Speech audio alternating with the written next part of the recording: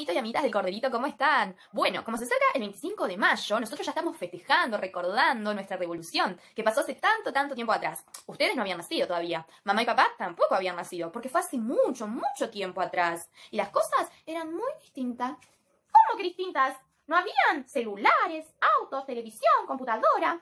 Filiberto, ¿qué haces acá? Hoy es que estaba aburrido y quería saber cómo vivían las personas antes.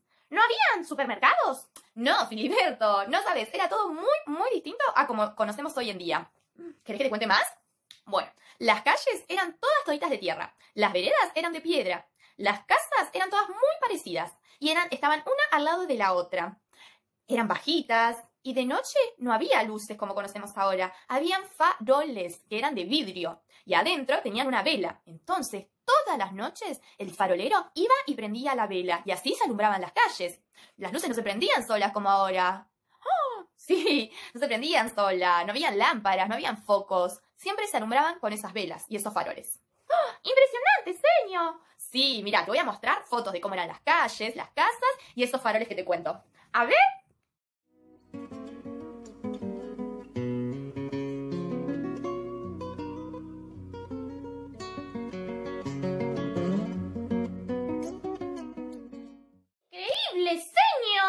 Y vi que las personas no se visten como nos vestimos nosotros ahora.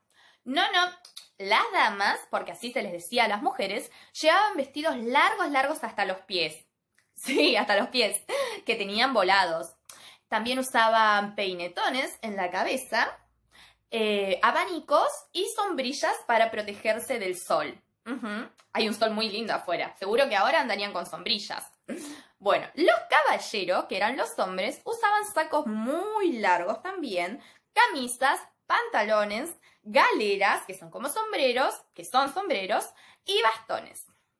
Mira, en estas fotos se ve un poquito mejor.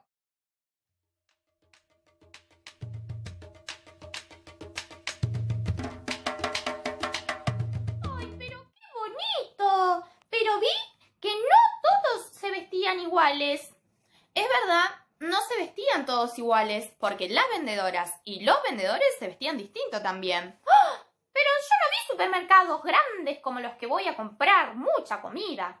No, no habían grandes supermercados. Los vendedores y las vendedoras iban caminando por las calles, caminando o en caballo. Iban gritando, vendo, vendo y vendían empanadas, pastelitos, escobas, plumeros, velas, leche, agua.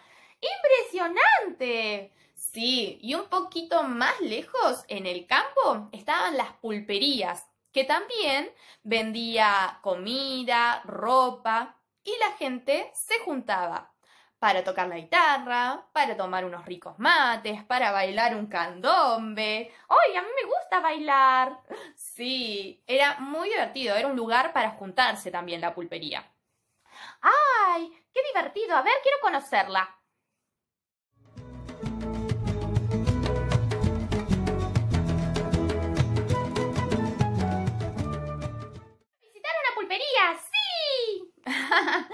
Todavía quedan algunas pulperías, pero por acá no hay ninguna cerquita, me parece. Oh, ¿y por las tardes qué hacían? ¿Jugaban a la compu? No, no, no, no había computadoras. Las personas más grandes se juntaban en los patios de las casas a tomar mates. O también se juntaban a bailar un minué en los salones de las casas más grandes. ¡Ay, qué divertido bailar! Sí. O se juntaban en la Plaza Mayor.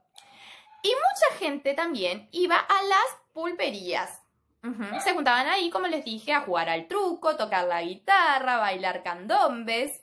¡Ay, señor! ¿Y los nenes y las nenas a qué jugaban? Jugaban a la rayuela, a saltar la soga, a las rondas, al gallito ciego, jugaban con muñecas y con pelotas de trapo que hacían ellos mismos. ¡Ay, sí! ¡Qué divertido! A ver, quiero ver cómo jugaban.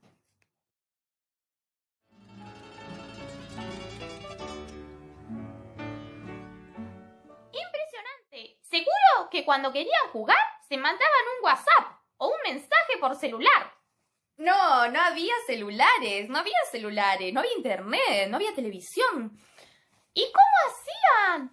Se mandaban cartas. Si vivían muy lejos o se querían comunicar con otra persona, se escribían cartas y se mandaban con el cartero, que las llevaba en caballo, porque no habían autos, no habían aviones, entonces las llevaban a caballo y si eran distancias muy muy largas, en barco también. Por eso tardaban tanto en llegar de un lugar al otro. Uy, entonces si yo te escribo una carta, vos me vas a responder retarde.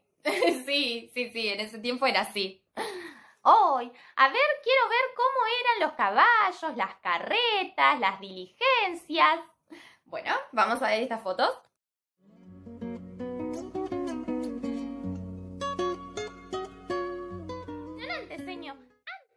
Hace mucho tiempo atrás, todo era muy, muy distinto.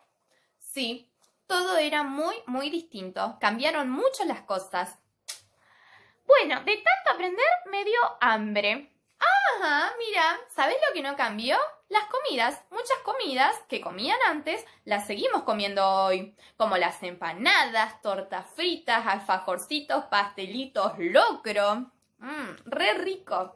Ay, señor, me dio mucha hambre. Me voy a comer con la señor Sol y la señor Lu que hicieron unas ricas recetas. Les mando un beso muy grande a todos los nenes y las nenas del corderito. Adiós. Chao. Adiós. Bueno, amiguitas y amiguitos del corderito, espero que les haya gustado mucho, mucho, mucho aprender cómo vivía la gente antes, qué cosas les gustaba hacer en la época colonial. Así que bueno, les mando un beso muy, muy grande. Adiós.